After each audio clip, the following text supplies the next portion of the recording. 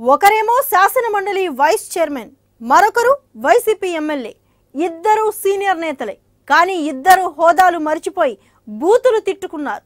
రామ రామ ఏంటి భాష అని సభ్య సమాజం నివ్వెరపోయేంత ఘోరమైన పదజాలాన్ని ఈ చట్టసభలో వాడేశారు. ఈ భూతు పురాణం వినలేక కలెక్టర్ మధ్యలోనే వెళ్ళిపోయారు. మొత్తం మీద తూర్పుగోదావరి జిల్లాలో ఇసుక ర్యాంపుల పేరుతో జరుగుతున్న రాజకీయ దందా మొత్తం ఈ ఇద్దరు బయట పెట్టేశారు.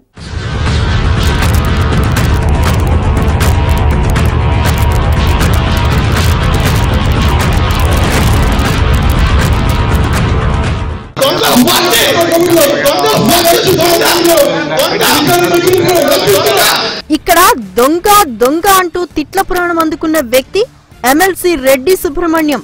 అంతేకాదండోయ్ మనం పెద్దల సభగా గౌరవించుకునే శాసన మండలి వైస్ చైర్మన్ కూడా. ఆయన ఇంకా ఏమన్నారో చూద్దాం.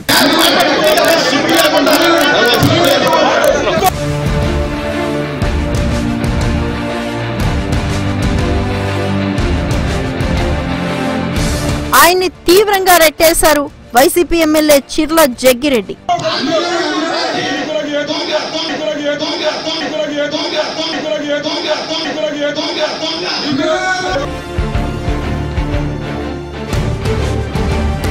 దీంతో రెడ్డి సుబ్రహ్మణ్యం ఆవేశంతో ఎలా ఊగిపోయారో చూడండి.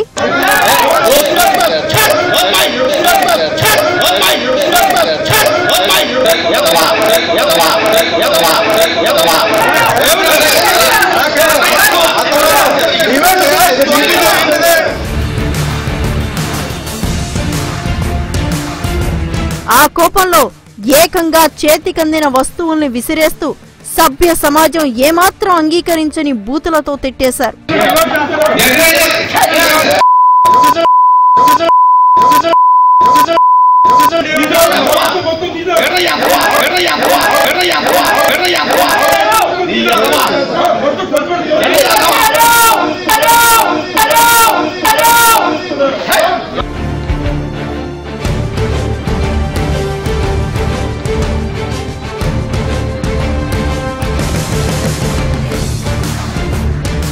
ఇదంతా ఏదో వీధి మీటింగ్లో పోట్లాట అనుకుంటే పొరపాటే.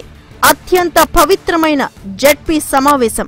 జిల్లా కలెక్టర్ ఇతర అధికారులు ఎమ్మెల్యేలు ఎంపీలు జడ్పీ సభ్యులంతా ఉన్నారు. కానీ ఈ ఇద్దరు నేతలు అసభ్య పదజాలంతో రెచ్చిపోయారు. చట్ట సభల గౌరవాన్ని సభ్యులు ఎంత దిగజార్చాలో అంతగా దిగజార్చేశారు. ఈ గొడవ సద్దుమణగలేదు.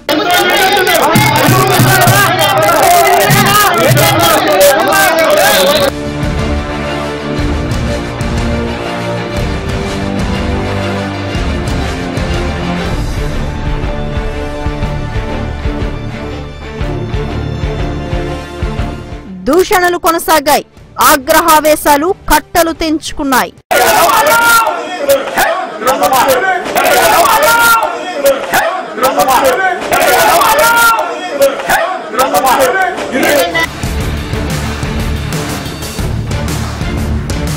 వీళ్ళ తిట్లు వినలేక ఈ గొడవ చూడలేక కలెక్టర్ వెళ్ళిపోయారు జడ్పీ సమావేశానికి హాజరైన సభ్యులంతా షాక్ అయ్యారు.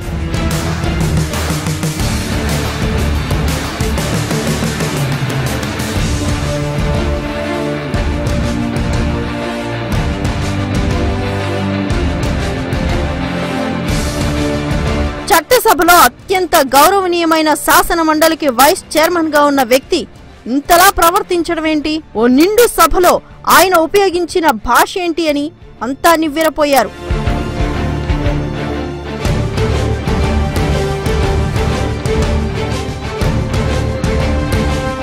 బాధ్యతాయుతమైన ఎమ్మెల్యే స్థానంలో ఉన్న చిర్ల జగ్గిరెడ్డి వ్యవహరించిన తీరు మీద తీవ్ర స్థాయిలో విమర్శలు వెల్లువెత్తుతున్నాయి.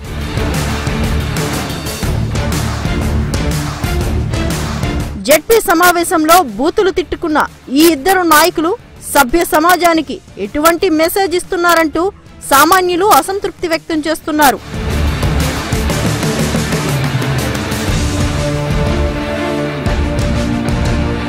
చివర్లో సభ నుంచి వెళ్ళిపోతూ కూడా రెడ్డి సుబ్రహ్మణ్యం ఆవేశంతో ఊగిపోయారు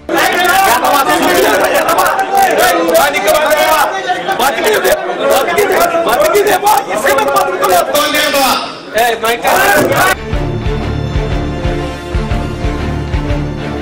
జెడ్పీ చైర్మన్ జ్యోతుల నెహ్రూతో సహా మరికొందరు ఆయన్ని శాంతింపజేసేందుకు అష్ట కష్టాలు పడ్డారు.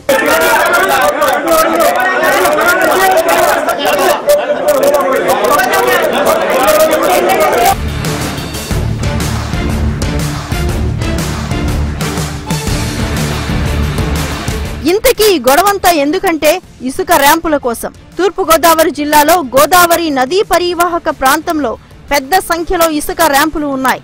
వాటి మీద ఆధిపత్యం కోసం కమిషన్ల కోసం అన్ని పార్టీల నేతలు తీవ్ర ప్రయత్నాలు చేస్తున్నారనేది జగమెరిగిన సత్యమే.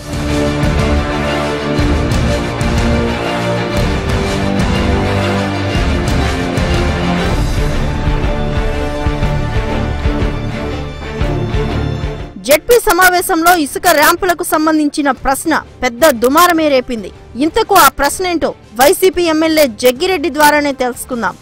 అక్కడ ఉన్న ప్రతిపక్ష నాయకుడుగా ఉన్నటువంటి సాగర్ ప్రసన్న కుమార్ గారు ముఖ్యంగా ఈ తూర్పు గోదావరి జిల్లాలో మరి ఇసుక మీద ఏదైతే తెలుగుదేశం పార్టీ నాయకుల దందా కొనసాగుతుందో ముఖ్యంగా రెడ్డి సుబ్రహ్మణ్యం గారు ఆర్ఎస్ అనేటువంటి రెడ్డి సుబ్రహ్మణ్యం గారు మరి శాసన మండలి చైర్మన్గా ఉన్నటువంటి ఆయనే ప్రత్యక్షంగా ఇక్కడ ఉన్నటువంటి మా నియోజకవర్గంలో ఉన్న ఇసుకనంతా కూడా కోర్టు పేరు చెప్పి విశాఖపట్నం తరలించేసేటువంటి కార్యక్రమం చేస్తున్నారు. ఆయంగా స్వయంగా లెటర్గా లెటర్లు పెట్టి ఆర్డర్లు కూడా తీసుకుని జరుగుతూ ఉంటా ఈ యొక్క దందా కొనసాగుతూ ఉంది. దాన్ని ఈ రోజున ప్రతిపక్ష నాయకుడు జిల్లా కలెక్టర్ గారిని సమాధానం చెప్పమని అడుగుతూ ఉంటే ఈయన సంబంధం లేకుండా కలగ చేసుకుని అందులో అక్కడ శాసనసభ్యుడిగా నా మా- గ్రామంలో ఏదో జరుగుతుందని దాన్ని నన్ను బాధ్యత పడమని చెప్పి ఆయన ఏదో మాట్లాడుతున్నారు ఇవాళ ఒకవేళ ఆ రకంగా మరి దొంగతనం జరుగుతున్న తరుణంలో మరి ఇక్కడ ఉన్నటువంటి అధికారులు అలాగే ఇక్కడ ఉన్నటువంటి నాయకులు వీళ్ళు ఏమి తీసుకుని ఇవాళ నోరు మూసుకుని ఊరుకున్నారని చెప్పి నేను ఇవాళ అడుగుతున్నాను.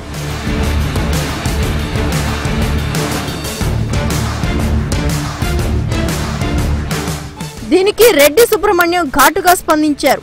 అసలు దొంగలు వైసీపీ నేతలే అంటున్నారు. జిల్లా ప్రజా పరిషత్ సమావేశంలో ప్రతిపక్ష నాయకులు ఇసుక మీద ఒక ప్రశ్న లేవనెత్తడం జరిగింది. అది ఎలా ఉందంటే పూర్వం సామెతోటి ఉండేది. దొంగతనం చేస్తూ ఆడు పారిపోతూ దొంగ దొంగ దొంగ దొంగ దొంగ అని పరిగెట్టడం మనం పెద్దలు చెబుతూ ఉంటారు. ఇవాళ అలా ఉంది.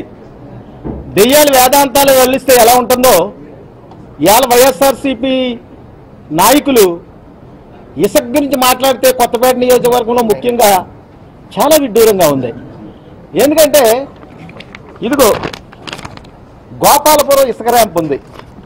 ఈ గోపాలపురం ఇసుక ర్యాంపులో ఎప్పుడూ కూడా నిత్యదోపిడి దోపిడీ దోపిడీ జరుగుతూనే ఉంటుంది. నేనున్నాను ఏ ఇసుక ర్యాంపులోకి వెళ్ళను. కానీ ఇక్కడ స్థానికంగా ఉన్నటువంటి శాసనసభ్యుడు ఉన్నాడు. ఈ పక్కన ఉన్నటువంటి గోపాలపురం ఇసుక ర్యాంప్ కనపడదు అతనికి. ఆ గోపాలపురం ఇసుక ర్యాంప్ ఎందుకు కనపడదంటే దోపిడీ చేస్తున్నదే అక్కడ శాసనసభ్యుడు చెర్ల జగ్గిరెడ్డి కాబట్టి ఆ ర్యాంప్ జోలికి వెళ్ళడం. ఎందుకంటే అది లేకపోతే బతుకులేదు. అందుకని రోజుని ఈ చంద్రబాబు నాయుడు గారు ఇచ్చినటువంటి ఫ్రీ ఇసుక్కి తోట్లు పొడుతూ ఈ బినామీ వ్యాపారాలు దొంగల పార్టీలో ఉండి ఈ దొంగతనం చేయడం బాగా అలవాటు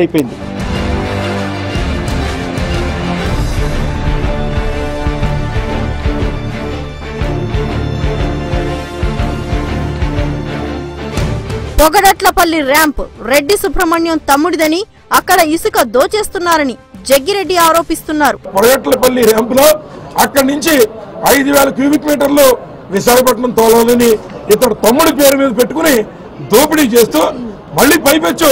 క్వాంటిటీ అయిపోయినా నేను స్వయంగా ఆర్టీఓ గారికి మరి మెసేజ్ రూపంగా రూపైనా కూడా ఏమండి ఈ రకంగా దోపిడీ జరుగుతుంది ఈ ఇల్లీగల్ కోరింగ్ ఆపండి అనేటువంటి మెసేజ్ పెట్టినప్పటికీ కూడా ఈరోజు దాని మీద స్పందించకుండా దోపిడీ చేస్తున్నారు.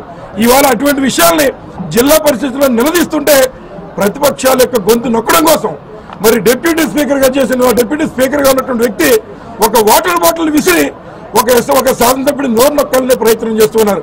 వీళ్ళ చిల్లర పనులకి ఎక్కడ కూడా వెనక్కి తగ్గే ప్రసక్తి లేదు. ఈ జిల్లాలో అన్ని ర్యాంపుల మీద ఎంక్వైరీ ఇవ్వనండి ఎక్కడ నాది తప్పని నేను నా- నా- ఒకవేళ నా ప్రమేయం కానీ నేను ఎక్కడన్నా తప్పు చేశాను వాళ్ళు ప్రూవ్ చేస్తే నేను రాజకీయాల నుంచి శాశ్వతంగా వేదిరుగుతాను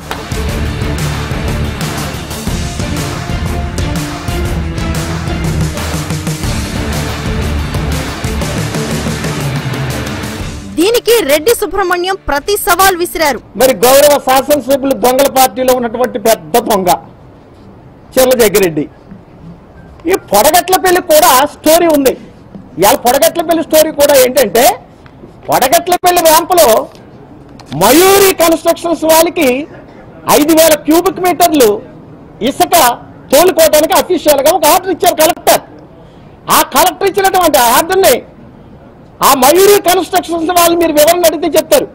ఆ మయూరి కన్స్ట్రక్షన్స్ వాళ్ళని ఇంటికి పిలిచి మీరు ఇందులో వాటా ఇవ్వకపోతే నేను ఇసుక తోలనివ్వను అంటే బేరసారాలు ఇంకా కుదరట్లేదు. ఆ రోజు నుంచి ఈ రోజు దాకా కూడా బేరం బేరం పెట్టుకుని మయూరు కన్స్ట్రక్షన్ బ్లాక్ మెయిల్ చేస్తున్నాడు. గోపాలపురం ర్యాంపులో దోచుకుని దోపిడీ దోరుడే అతను. పొడగట్ల పెళ్ళిలో ఈవేళ కూడా ఒక్క మిషన్ కూడా ర్యాంపులో లేదు. ఒక్క మిషన్ ఒక్క మిషన్ అందులోకి వెళ్ళినట్టు రుజువు చేస్తే నేను ఏ దేనికైనా సరే నేను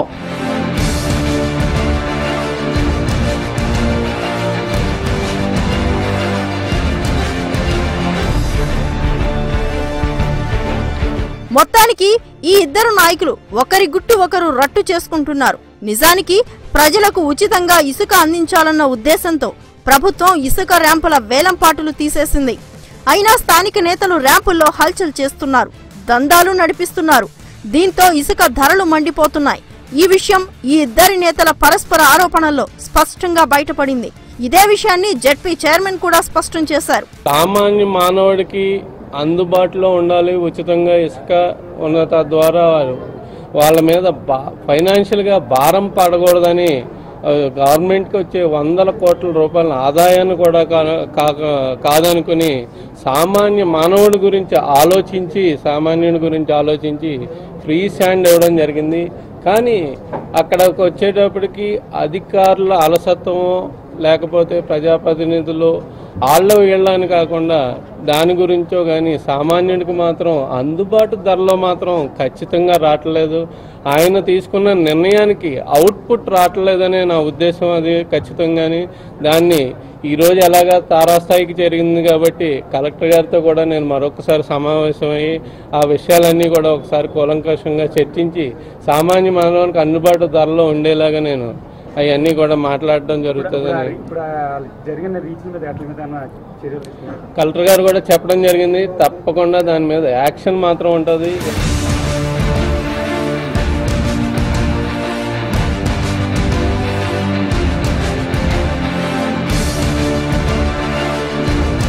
ఈ ఇసుక దోపిడీకి సంబంధించి వైసీపీ నేత జక్కంపూడి రాజా మాట్లాడుతూ అడ్డగోలుగా ఇసుక తవ్వేస్తున్నారంటూ ఆందోళన వ్యక్తం చేశారు.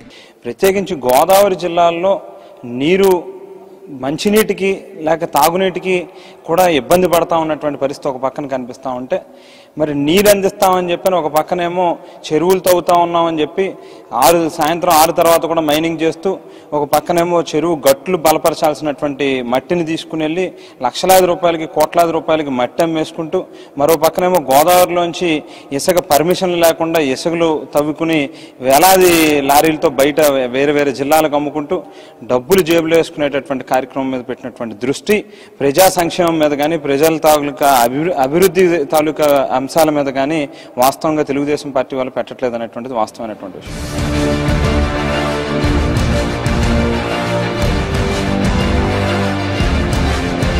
తూర్పుగోదావరి జిల్లాలో ఇసుక దోపిడీ అత్యంత దారుణంగా సాగుతున్న విషయం అందరికీ తెలిసిందే. అక్కడి అక్రమాలు వెలికి తీసేందుకు ప్రయత్నించిన వారిని తరిమి తరిమి కొట్టిన సందర్భాలు గతంలో ఉన్నాయి. ప్రస్తుతం ఈ అంశాన్ని వైసీపీ నేతలు వ్యూహాత్మకంగా తెరపైకి తెస్తున్నారన్న విశ్లేషణలు వినిపిస్తున్నాయి. వచ్చే నెలలో జగన్ పాదయాత్ర తూర్పు గోదావరిలోకి ప్రవేశించనుంది. ఈలోపు ఈ ఇసుక రచ్చతో జిల్లాలో కాక రాజేయాలన్నది వైసీపీ నేతల ప్రయత్నమని కొందరు చెప్తున్నారు.